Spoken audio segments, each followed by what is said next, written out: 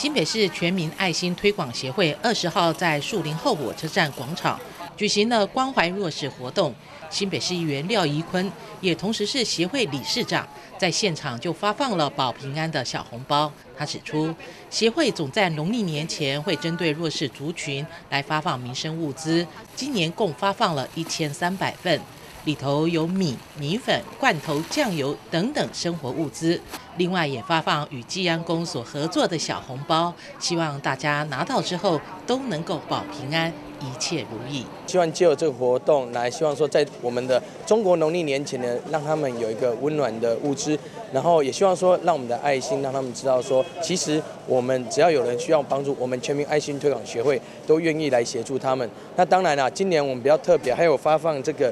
啊，讨吉利的小红包，也希望说借由这个呃小红包，让他们在新的一年有个好彩头。而廖一坤议员也借着这个机会向大家拜个早年，祝福诸事如意，猪年行大运。同时，他也预告大年初一将在济安宫发放这个爱心小红包，也欢迎民众能到现场参与，沾染过年的好运气。